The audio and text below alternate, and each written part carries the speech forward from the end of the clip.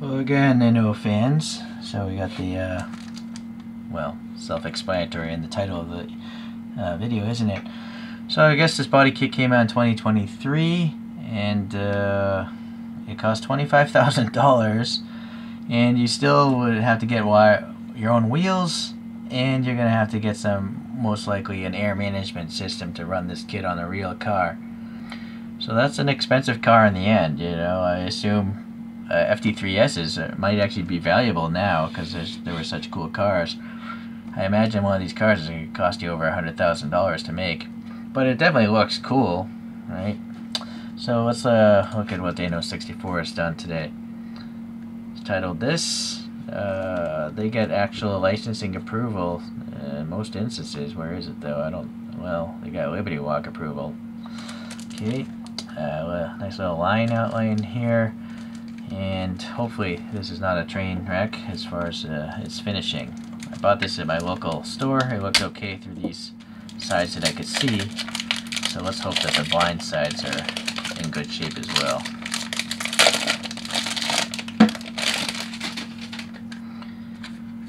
Okay, standard sleeve with a little card for tightness. Not a good idea to do this, but it is not just falling to the floor, so I guess that's good. Going to take it off the base. It's got Inno 64 molded in. It's got one black screw holding it together. And it's a die-cast model. It's cool that they have this uh, striping effect that's found on the car printed on here. This is print. Uh, it's not a sticker. It's not a decal. It's literally paint printed on there. So that's pretty cool. Alright, some images I was able to find.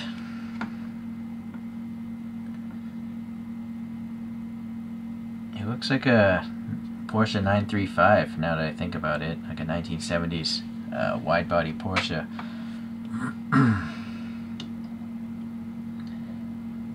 Okay looking at the front yeah that that looks really close. I mean even the size of that uh, lower fog light or whatever it is the hood line there the windshield the roof line matches up perfectly.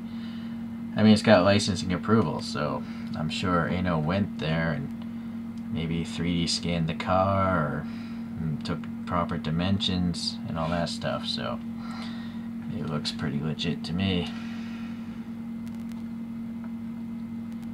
It's obviously pretty hard to focus between two objects at two different distances, but I think that's a pretty good comparison there. Alright. Let's get the pick out. Start with this front wheel. It's like a black BBS mesh kind of wheel as you can see. Let me zoom in. Zoom, we're at four times magnification. I'm trying to decipher what that wheel's made out of. Is it molded plastic or is this a photo etched piece? Let me get a flashlight. We're going to try a different flashlight today. I think this might be... Hmm. Sorry, go ahead, focus again. I can't tell if there's any thickness to that thing, so... Try brighter flashlight.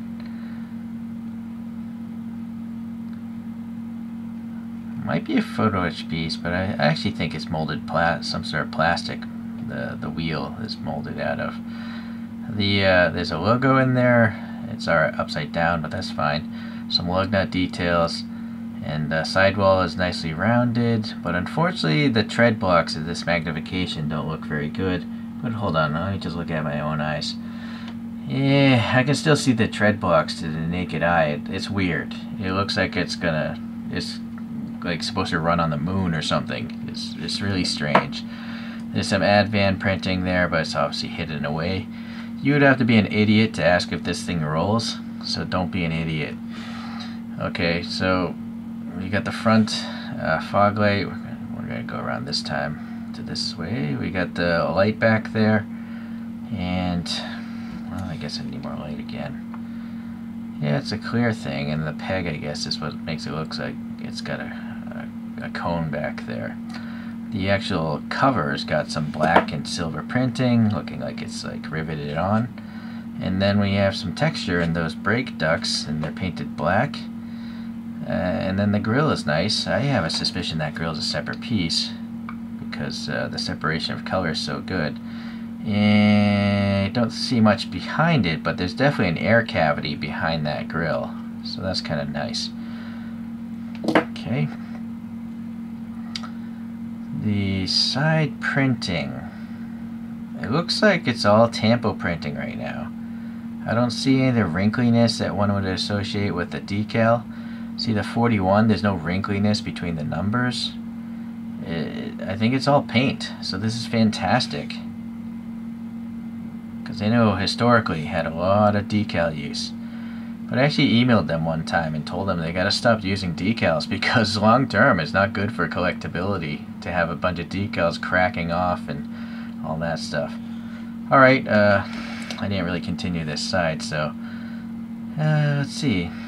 Yeah, some rivet marks there, Tampo Don. There's some black here. I guess that's a print of paint. I don't know if that's really the tire showing there. No, I'm bottoming out against something. It's just darkness, which is fine. What about this side? Hmm, possibly this black paint down there. Maybe had a texture, let's see. No, that's the actual tire. Yeah, so there's the tread. What about this one after all? No, that's definitely bottomed out. Okay, still, looks good. The side mirror is a separate piece, and it's got a reflective sticker. Yep. The side window is being molded. They have some distortion. We'll get to the interior later. There's a door handle here. Looks fine. It's actually recessed. There's a little silver, probably for the lock above it, printed on there. And the black molding there. Is it painted? It is black. I don't know if it's on the casting. I think it's on the casting, the, the molding. Okay, yeah, the rear slammed again. I feel like it might be screwed down a little too much. That, that flat spot's awfully flat. Uh, and it's nice that you can read the Advan there. It's nice that it's printed well on the tire. Okay, that logo on that wheel looks a lot better as far as this orientation goes. This must be the fuel filler. Okay, and then let's go around to the back. Interesting. Okay, so this is part of this. This is all the die cast. I have the suspicion this piece here might be separate. Yeah, like the panel gap you can see here. Maybe this is like a plastic piece they had on top. Okay, the uh, diffuser is quite thick, being plastic. Uh, well, it doesn't need to be that thick, really, but it is. The exhaust pipe is tucked away under there. It's got like some black in the middle little bit of a recess that I can feel. Okay. The reflectors back here seem to be printed okay. It's nice that there's a license plate of sorts and it actually has very legible printing. And that license plate is sticking out like this, so I also think it's a probably a photo etched piece of metal being that thin. It's even got the two little mounting bolts, bolt heads there. This printing up here is nice, same as there. We got a little silver for our lock. And then these are pretty good tail lights. You can see there's black printed on the outside surface, but you can also see this is orange and those two are red. So that's that looks pretty good. That's how it looks on the photograph. I am a little curious, where, where would the backup lights be on this? I don't even see them in the photograph. Unless maybe these are backup lights and they're smoked out. Please leave a comment if you know. These are some really, really thick uh, struts. And I think they're the die-cast metal. Naturally, it would be nice if those were a little thinner. Interesting, they chose to use the die cast to make those struts. So you can see the white of this wing is different because it's painting white on different materials. This this almost looks cream colored. Oh, lost focus there. Uh, the body almost looks cream colored now compared to the white of that uh, wing. Okay, the slammed here guess that's tampo printed. I don't I don't think that's a decal. There is some wrinkliness or something unappealing about the wing smoothness. I don't know what, if that's just residue. Oh well. Uh, the black end caps are really glossy. There's some silver rivet marks there. Yeah, the die cast here wasn't painted fully, unfortunately, but it's on the bottom, so can't really see too much of that. Alright, yeah, what's going on with this? I gotta get a Q-tip. There's some weird dirtiness here.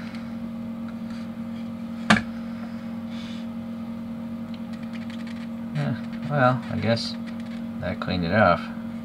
A little more careful here because it's painted.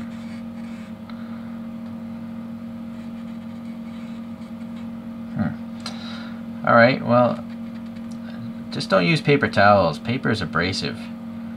You want to use a cotton thing or a microfiber, being plastic, it shouldn't scratch. That goes for real cars as well. Okay, the back window here, it's got a little black molding around it, and you can see a little bit of that yellow roll cage there. This striping here, yeah, I guess that's okay. It doesn't go in there, which is fine. There's literally three paint processes going on here. You can see them overlapping a little bit. The Advan, eh, something went wrong with that print. Pretty, pretty nice uh, glossiness here. Look at the sharp edge of my LED above us. Not so great there, so little orange peely, but it's fine. Being a white car, you really can't see with the naked eye much of that wrinkliness. And again, I am magnified right now. Alright, so the front hood, that looks a lot smoother as well. And then again, all this is tampo printed, so this is really fantastic, actually. Oh, I take it back. now this looks like a decal. See that wrinkliness? Where you don't have any of that here. So this is a decal, but then this looks like it could be paint. I don't know, maybe I'm mistaken. Clearly this is a decal. Just look at that orange peel. But look at the stripe over here. Eh, maybe it is a decal. I can't say. If it was a decal, I just feel like this wouldn't have this weird overlapping edge. So, could be a mix of things. Okay, well, the vents up here have black paint in them. Actually, they might be separate pieces. Let's see. Focus again. I can't tell. Can't tell if those are separate pieces or not. The separation of color is so good, at least in this one. Not sure, but there's a texture, obviously. This is just paint. You can see the, you know, the, the wobbly edge there because it was painted. And that's fine also. It's just pointing things out. Alright, the wiper blades are molded into the windscreen. The blackout is actually on the outside surface as well as this, but it is looking like it's a tampo print, so that's good. Alright, now the challenge is always the interior. Let's try this flashlight. This is like pretty low lumen count. But you know what? I guess this is just too low. I was thinking a lower lumen count would help. Because this flashlight only goes from 1 to 15 but in certain cases I guess I need 15 lumens. This is clearly better than the last one. Alright well the red seats have printing on them and they look pretty good. I think they might be bride seats. Uh, the dashboard has some molded details. It's black of course. Uh, the roll cage is low because it has to go underneath the clear plastic of the molded windows. There's really nothing one could do about that if you want to see the top of the roll cage at least. Some brands will actually just not even have the top of the roll cage, and that's the way around it, but uh, no, it seems like don't wanted to show you that cross, that bar right there. But it just definitely looks weird, you know, because it's literally in the middle of the side window. I almost feel like they would have been better not having this, this bar right here. Uh, there's a rear view mirror. Let's see what else we can see in here. yeah, molded center console stuff, stereo, air vents, and whatever. Uh, e-brake handle I can see there. And then clearly there's gauges, so that's probably a decal, white on black gauges, looks pretty nice. Let me try it from this side here.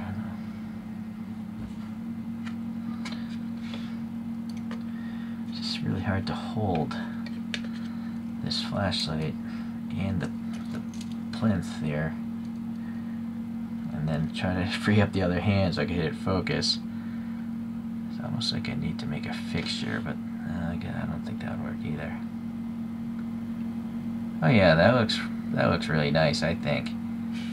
Yeah, very cool.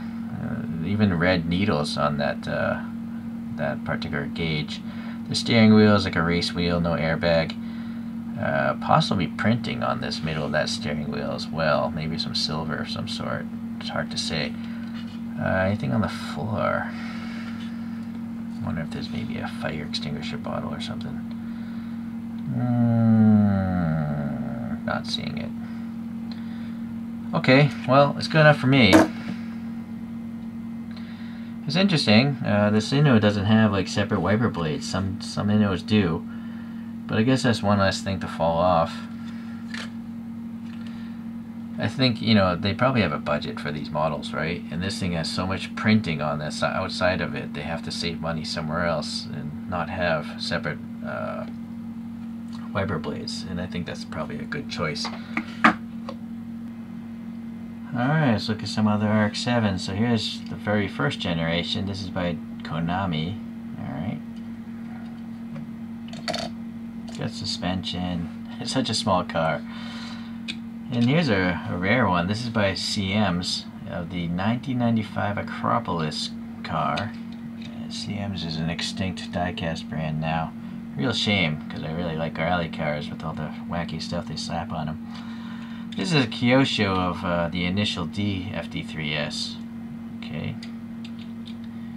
So it's got specific wheels from that one of the cartoons, I guess. This is an Aoshima of an FD3S with the Itasha kind of paint my car with a bunch of anime characters uh, theme there. Okay, and then this is an RX-8 from uh, same Aoshima with some sort of wacky cartoon livery.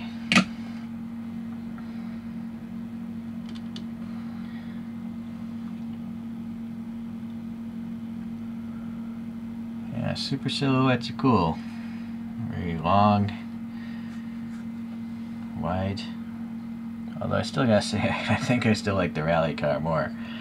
Uh, I mean, that was an actual competition car. This is just a show car, really. I, would be really. I suppose you could drive it with an air suspension, but uh, I'm not sure if it'd make a good daily driver. I don't think air suspensions are comfortable. Uh, I might be mistaken, but Okay, well, uh, again, pretty good solid effort by Inno.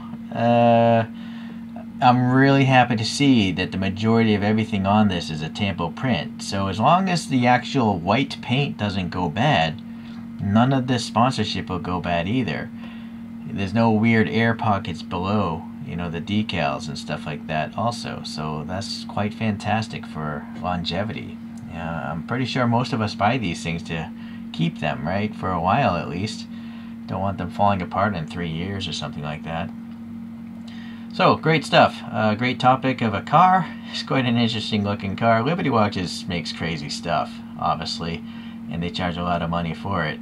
Those, man, those people must be so rich. So thank you for watching. We'll see you in the next uh, Inno 64 review.